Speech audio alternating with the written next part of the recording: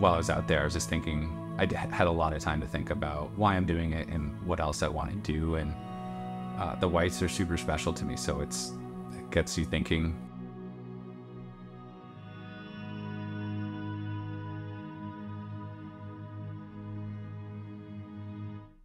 Yeah, my name's Andrew Drummond.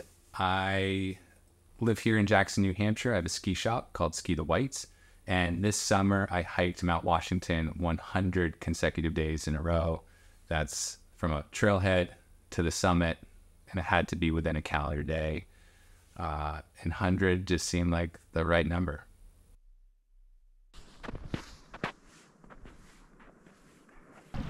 Day one was in May. Just found the best weather window, and so I went over to the west side of Washington, went up the Cog, and then I skied the snowfields, and I skied into Great Gulf Wilderness, and that just seemed like the ideal way to start the start the streak.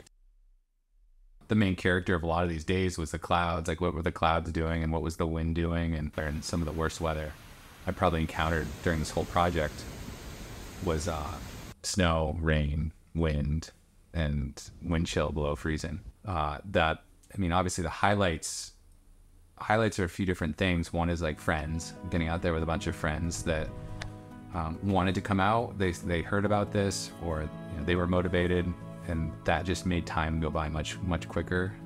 If I just think of like some of those simpler days where it's just, yeah, I was doing something that felt very familiar. I know where every rock is. I know this route, but I'd pop over late afternoon. I'd pop over to the west side at sunset. The grass is blowing. You know, the light's perfect. It's golden. You're looking down into uh, Lakes of the Cloud, and I don't know that visual scenery like that never gets old. I have been playing in the White Mountains my whole life. I grew up here. I grew up in Conway, New Hampshire, and the AMC's always been sort of in, woven in in the fabric of the White Mountains. And having those those facilities available to you when the weather's terrible and you need something, um, and you get to see everyone that's in there, and everyone's doing their own thing, their own hike, their own stories, and um, so I'd always make sure to pop in the huts and say hi. And every day I was above tree line. It's it's no wonder why like all these the presidentials in Franconia Ridge. Like that's where I want to be. That's where I want to spend most of my time. So when I could get up there, constant reminder, even on the hard days or I don't feel it, my legs are tired.